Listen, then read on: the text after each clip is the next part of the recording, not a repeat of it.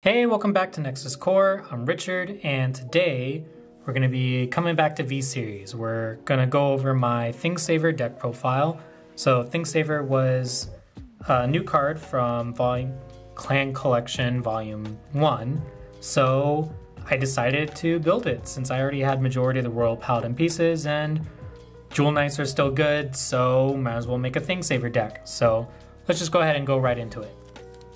Our starter any Royal Paladin starter really works, but I'm going to go with Barkle for this one. So if uh, your opponent's grade, if your opponent's Vanguard's at grade 1, uh, when you write on top of this, you get a quick shield, and of course, when you write on top of it, you draw a card, like every V Series starter. So now we're going to go right into grade 3s, starting off with our four copies of Seeker, ThingSaver Dragon. So it's got a lot of uh, Legion nostalgia still left behind on it, so I like that a lot about the card.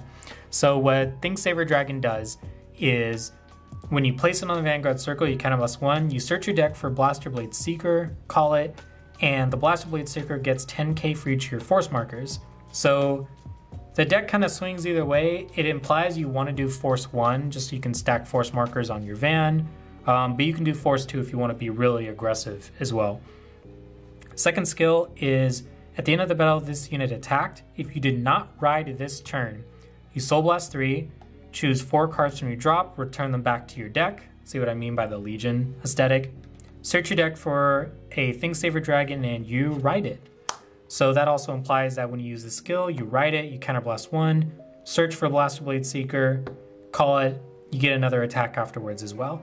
So ThingSaver's got like a kind of slow start to it, but when it goes off with the uh, Jewel Knight support and the fact that Blaster Blade Seeker gives ThingSaver a crit when it's called, does give uh, ThingSaver a lot of pressure, even though it's a little bit slow. So we'll go on, talk a little bit more when we get there, but let's continue on with the grade threes. I'm running three copies of Pure Heart Jewel Knight Ashlei. The Jewel Knight engine, as it is for the ro- of Royal Paladin decks, is still really, really good. Uh, Ashlei's skill, both of the skills are Van or Rear, so at the end of the battle that it attacked, you Soul Blast 2, search your deck for a grade 2 or less Jewel Knight, call it to Rear, and you then you shuffle. If this is on the Vanguard circle, you call two units instead of one. So if it's on Van, it still does good stuff. Uh, multi-attacking, five attacks, and the fact that you can have a bunch of force markers on this on rear, swing, call another unit on top of this for multi-attacking. Really great card. Second skill is Vanner Rear. When your other unit is placed on top of this unit's circle, counterblast one, that unit gets a crit. So if you want, you could uh, break ride with, get it, because, you know, Ashlei break ride. Uh, counterblast to give Van a crit if you want to do it that way. But since uh, Blaster Blade Seeker gives the Van a crit anyways, so that's kind of overkill. But if this is on rear guard circle and you call it uh, Jewel Knight on top of this, you can counterblast to give it an extra crit, help keep up the pressure. So Ashlei's just an overall really, really versatile grade 3 for the deck. So then we're going to go into our grade 3 triggers. So these are Heal Guardians, which were introduced in Clan Collection Volume 1 and 2. So every Heal Guardian does the exact same thing.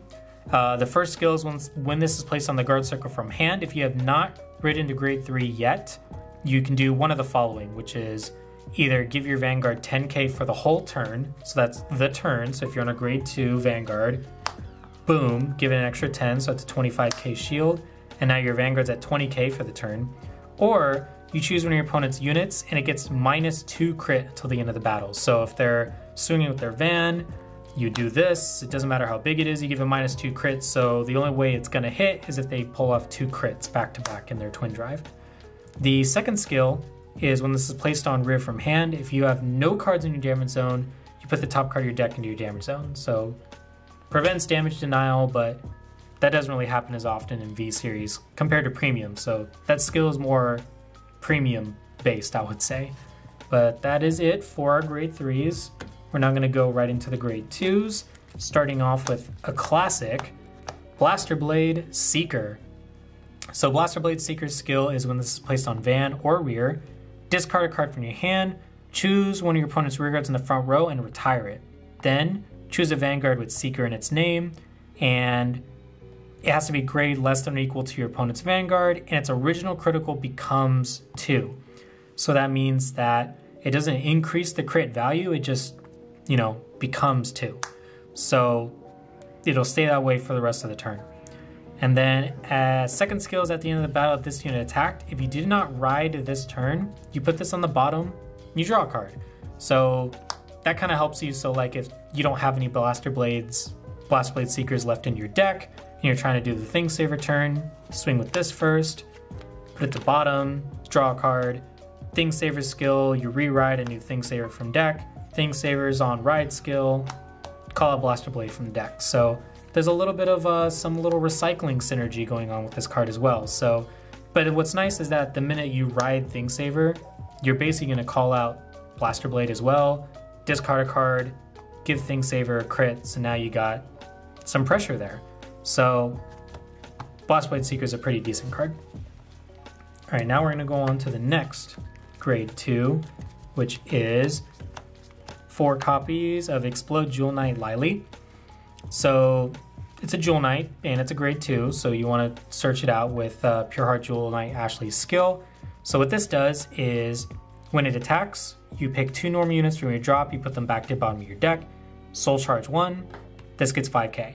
So because both Ashlei and Thing Saver use a hefty amount of soul, having cards that help you soul charge is really nice. So the fact that um, Lylie is a Thing Saver support card as well is nice for the deck. Second skill is when your other unit is placed on this unit's circle, it gets an extra 10k. So if you're doing more multi-attacking or you swing with Lylie and then you use Thing Saver and you call Blaster Blade on top of this, now this gets an extra 10k from being on you know, there's there's there's things you can do with the with that skill as well. It's also nice that if you ride this, you can give the Vanguard an extra 10k when you ride on top of it. So Lylie's an overall really good card, but the biggest thing about it is that it gets an extra 5, refills your deck with targets like Blaster Blade or other Jewel Knights, and it gets you Soul. So, for sure, a staple card if you're running the Jewel Knight engine.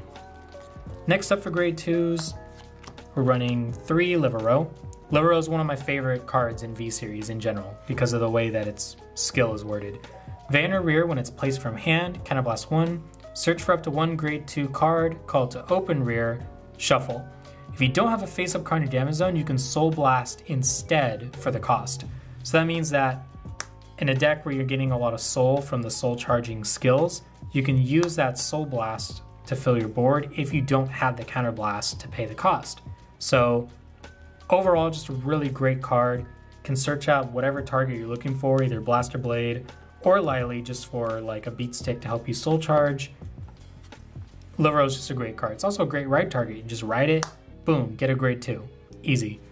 So we're only running three copies of it because for our final grade 2, I'm taking in one copy of Loading Angel. So what Loading Angel does is at the end of your turn, if you have five or more units, you counterblast, move this soul, you draw two.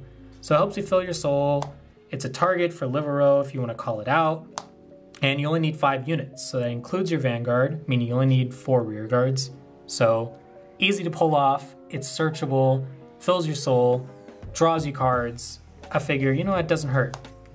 Throw in a loading angel. but that's basically it for our grade twos. We're gonna go into our grade ones now.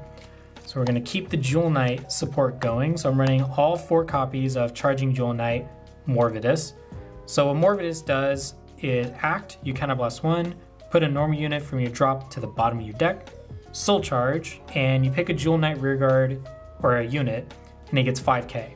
So helps you get soul, helps you refill your deck, makes your Jewel Knights a little bit bigger. So it's a, still a helpful card, but also it's a target for Ashlei's skill. So if you want to call a booster somewhere, you have that option for the deck. Um, the second skill is when your other unit's placed on this unit's circle, you draw a card, making this a really great ride target. So you ride this, you draw a card from Barkle, you go into a grade 2, now with more of his skill, because unit was placed on the same circle, you draw another card.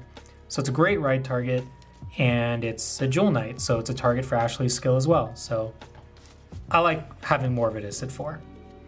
Next up for grade 1s, this card's a great card for Thing Saver. Knight of Exemplary Sword, Lucius. Uh, this was a card that came out, I believe, in set um, VBTO 3, maybe VBTO 4. No, VBTO 3, that was definitely it. Um, great card for the deck. So, what it does is rear auto. When your grade 3 or greater Vanguard is placed, you move this to Soul, draw a card, and then call a card from your hand to rear guard circle. So, because Thing Saver's skill activates during the battle phase, if you have a, a Lucius on your rear guard circle and you do a little boosty boost, you can use Thing Saver's skill, write a new one from the deck. Because it's placed, you can call out a Blaster Blade. See if I can find one real quick. Pull out Blaster Blade, and then with Lucius' skill, since you wrote a Van, wrote a Grade 3 Vanguard, move to Soul, you can call a card from your hand. So now you have a booster for your Blaster Blade, or you know you can call another attacker. So gets you more attacks during the battle phase, refilling your soul. Um, Lucius is a great card for this deck. Um, so you just throw it down and you get a free boost, re-ride, fill up your soul, call more things. So helps extend your turn. So I love this card a lot for Thing Saver. So next up, we're gonna go into some pretty traditional cards. So we got Laurel Knight, um, Sicilus. So it's our grade three searcher. Um, both, pretty much all of our grade threes are really great to have in hand to set up. So any target you find with Lucius is a great card to add to your hand. So the first skill is if you have no face-up damage, this gets 5k. Second skill is when it's placed from hand. Look at five cards from the top of your deck, reveal a grade three, add it to your hand, shuffle your deck, and if you added a card, you discard a card. So this is great even if you have Thing Saver in hand for the ride. You can use this to look for Ashlei, so you can kind of do a little bit more pressure, uh, more multi-attacking. So I would say Sicilus is a great card. And the fact that the skill works when you ride it, it makes it also a great target besides Morvidus.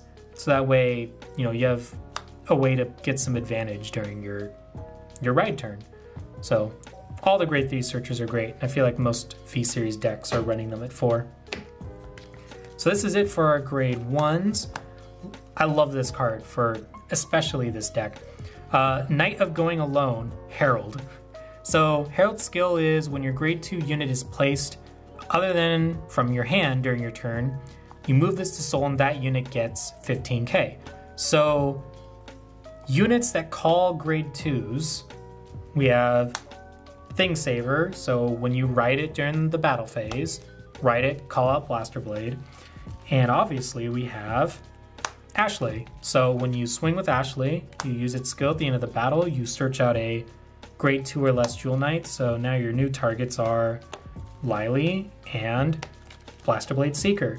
So not only does this card fill your soul by the fact that you called something moved to soul, but you're giving it an extra 15k, making it, especially Blaster Blade, even bigger than it already is, considering all the force markers you're getting from riding Thing Saver. But also, you can make Lily pretty big too on top of the 5k that it's going to give to itself. So, this card is great. My only thing about it is that it's kind of wonky. It doesn't really help generate anything for the main phase to set up for your turn.